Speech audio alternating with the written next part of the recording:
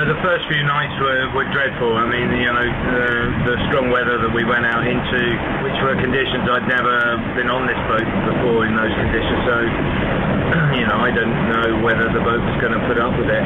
But you just have to um, assume that the boat can and push on. And, uh, you know, I'm pleased to report there's no major problems. Uh, but I broke some gear. I broke some wing gear and uh, subsequently had to go up the rig. And so it's taken a while to sort of recover from that.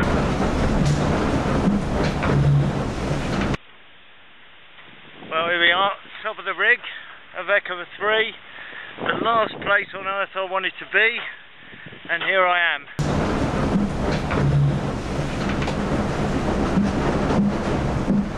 It's pretty uncomfortable and uh, pretty remorseless uh, hard graft and the boats are getting harder definitely uh, uh, either that or I'm getting older. One of those two things is happening.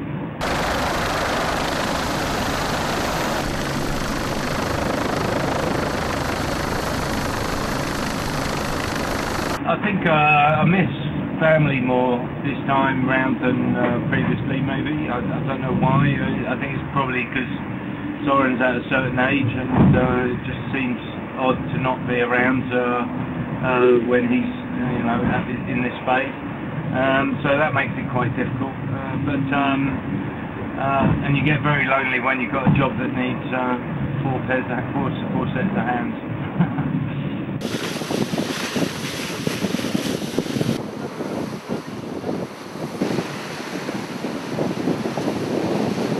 you know, 60, 70 miles in the context of the Vendée Globe is not a great distance at this stage of the race. We really are in touch here, but our real goal would be to be in touch uh, in the Southern Ocean, uh, where I know I can uh, drive the boat quickly.